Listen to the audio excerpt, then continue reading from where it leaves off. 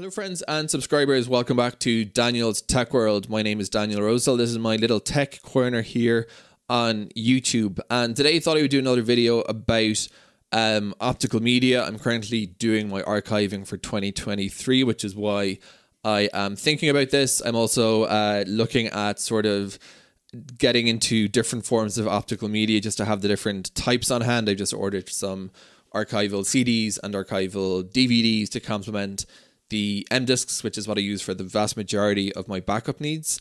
And I'm just making sure everything is nicely archived. All my data from 2023 that I don't need anymore uh, has gone off to archive. Just remember that an archive is not the same thing as a backup. But um, I find archiving very useful for my needs as a uh, content creator. I hate to use that word, but I guess it kind of describes a lot of a lot of what I put out to backup uh, is podcasts, uh, photo galleries, videos, different forms of content. Occasionally articles that I write as well. I'll put those into my backup um, system, basically, which is really stuff on my NAS that when it reaches the capacity gets moved on to optical. So today I'm going to look at the price comparison between the different forms of what are called archival optical media. I just want to make the point um, that I, for those who didn't watch my previous videos on this subject that archival is not a controlled term. It's a marketing claim. So the different disc manufacturers, uh, thanks to whoever corrected my pronunciation, I was calling uh, Maxell Max Maxwell, which I think is a brand of tea as as well as a few other things. So there's Verbatim, Maxell, Sony, and a few others, and uh, they usually produce a disc like a CDR, a regular CDR, and then they produce something what they call archival grade, and that varies a little bit what they do. Some play around with the dye using different types of dye. Um, which for non M discs traditional optical media is uh, is how the data is stored, but that dye is subject to decomposition, which is the threat to data on optical. The threat to data on um, HDD and SDD is magnetism, and on optical it is dye degradation, basically for the most part, as well as of course physical damage. Uh, they add uh, gold layers to make the actual data storing layer more impervious, stuff like that, different techniques. There are people on Reddit and other forums who are really, really knowledgeable about the actual material science that goes into making these discs. They know a lot more than me, so I'll just I'll just leave it at that, just to say that this is generally what is intended by archival, but it's not a um, as I said, it's not a controlled control terminology. So I set out to answer two questions in the course of this video, and I thought I would share, share what I found with people interested. Number one is looking at CDs versus DVDs and BD and Blu-rays, the three categories of optical media, the three main categories. Is are you being penalized for using CDs? People might think using CDs is crazy.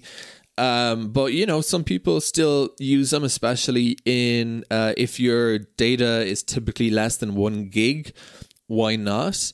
Uh, DVDs are also used and Blu-rays. So basically, my question was which is cheaper per gigabyte.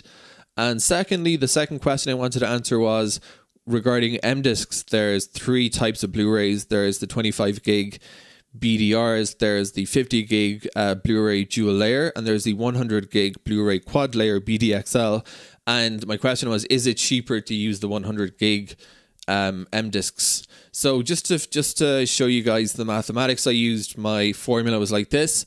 My workings were like this to figure out the capacity of each product. I multiplied the discs um, in the spindle, or you can also, of course, just use the discs in the jewel, whatever. However, the product is, is distributed times the capacity in gigabytes, and that yielded total data that you're buying in gigabytes.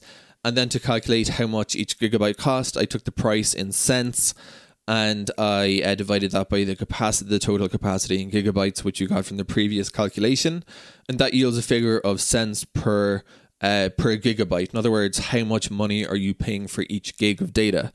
So that that was my uh, working. So let's start with uh, archival CDR.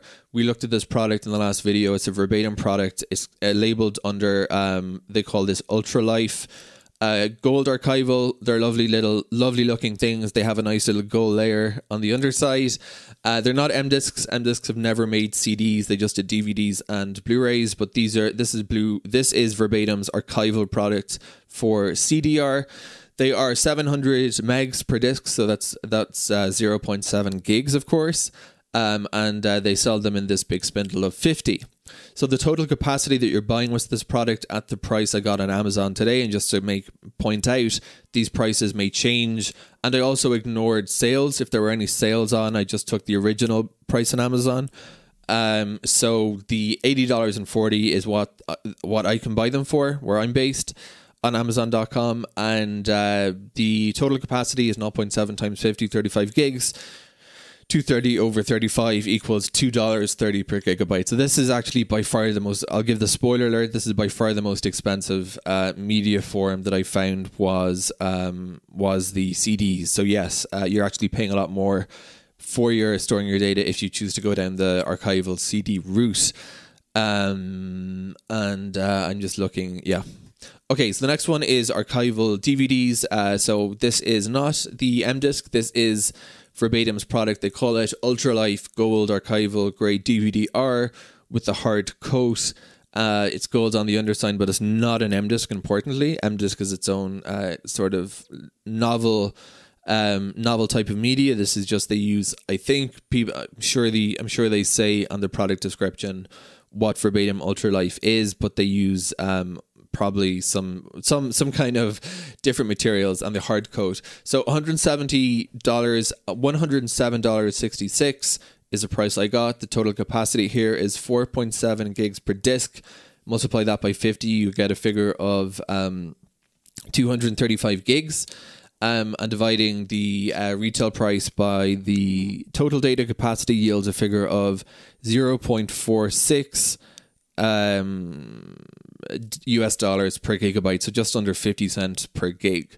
And yes, by the way, I did a video like a year ago about the, the how much the cost comparison between HDD uh, hard drives and optical, and everyone knows optical is more expensive on a per gigabyte data and certainly compared to LTO, I think LTO is the cheapest data storage medium of all. Tape, um, certainly a lot cheaper than optical, but people who are archiving on optical aren't doing so for price reasons. Generally, we're doing so for um, cold storage. So we start to see a, a, big saving when we get into when we start using BDR, and this is actually the cheapest product of this whole comparison. This is Verbatim's product called Data Life Plus. It is a 50 gig uh, BDR DL. Um, it's priced at $89.17. The total capacity here is 50 gigs multiplied by 25 discs. That yields a figure of 1,250 gigs, which is, of course, 1.25 terabytes. Uh, doing the division here, we get a price per gigabyte of only 7 cent. So that is the cheapest. So uh, these are not M discs these are Data Life Plus, and you can read um, about what makes that technology different uh, according to verbatim. Now let's look at M disk. So this is the 25 uh, gigabyte M disk, the smallest uh, Blu-ray capacity. It is $64.99 um, for the 25 spindle on Amazon at the time I'm I did the search. Uh, the total data capacity here is 25 gigs by 25 equals 625 gigabytes. And uh, the price per gigabyte worked out to 10 cent US, 10.3984 to be exact. Um, next, we have the MDisk uh, dual layer, the 50 gig product, $134.39 for uh, that product today on Amazon. Uh, the total capacity you're buying here is 50 gigs times 25 equals 1250 gigs equals 1.25 terabytes. And the price here is 0.11 rounding up. Uh, which is 11 cents per gigabyte, uh, 10.75. I rounded that up.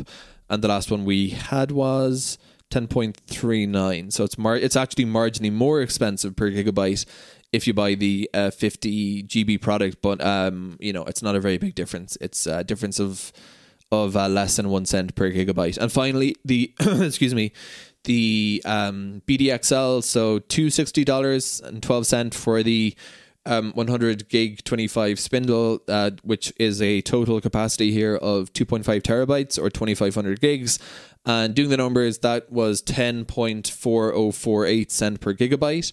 So I just rounded that to 10. So 10.40.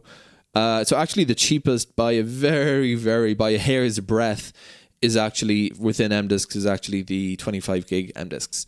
So just to summarize what we found on our uh, little project here, looking at the non M disk archival grade storage media, CDs are the most expensive. DVDs are less are less, and uh, it's cheaper for BDR. Within the M discs, we didn't see much variation. They're all about 10 cents per gigabyte, thereabouts. So, what can we conclude from this? Uh, basically, for M disk uh, archival grades, for non M disk archival grade storage, the cheapest is to go with the BDR. And if you're buying M disks, you're not really saving a lot actually anything by using the 100 gig ones. Hope that was useful if you've always if you've wondered about the price of uh, optical archival media. Thank you for watching today's video and if you'd like to get more tech videos from me, do consider subscribing here on YouTube.